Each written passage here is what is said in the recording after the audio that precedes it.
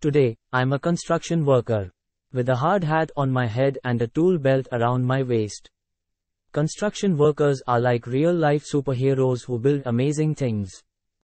Hard hats keep us safe. First, I wear a hard hat to protect my head.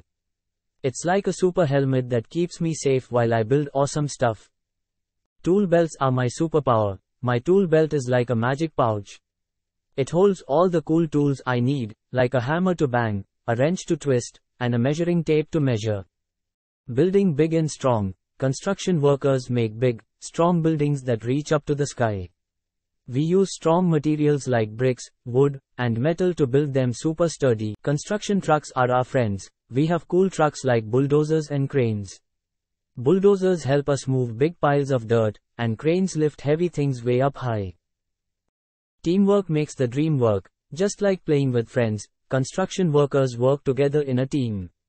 We talk and plan to make sure everything gets built perfectly. Busy like bees, construction workers are always busy, just like busy bees. We work hard to make sure everything is strong, safe, and looks amazing. Fixing things up, sometimes, we're like fixing superheroes too. If something breaks, we grab our tools and fix it so it's good as new.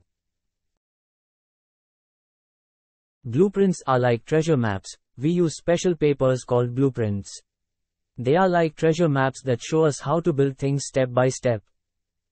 Safety first, safety is our top priority.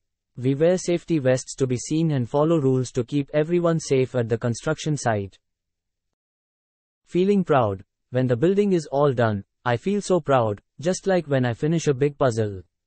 Construction workers are amazing, and I had so much fun being